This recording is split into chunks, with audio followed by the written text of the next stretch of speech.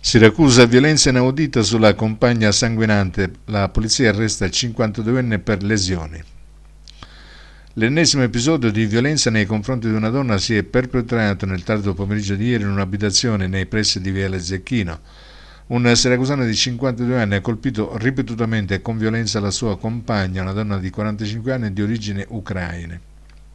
Solo il tempestivo intervento degli uomini delle volanti ha evitato che l'uomo si accanisse ulteriormente nei confronti della sua vittima che è stata soccorsa sul pianonottolo di casa sanguinante.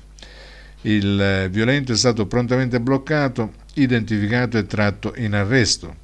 Sul luogo delle violenze è stato rinvenuto e posto sotto sequestro un bastone in alluminio con il quale l'uomo avrebbe ripetutamente colpito la donna, causandole la frattura del setto nasale e una ferita lacero contusa alla testa, giudicate guaribili con una prognosi di 21 giorni.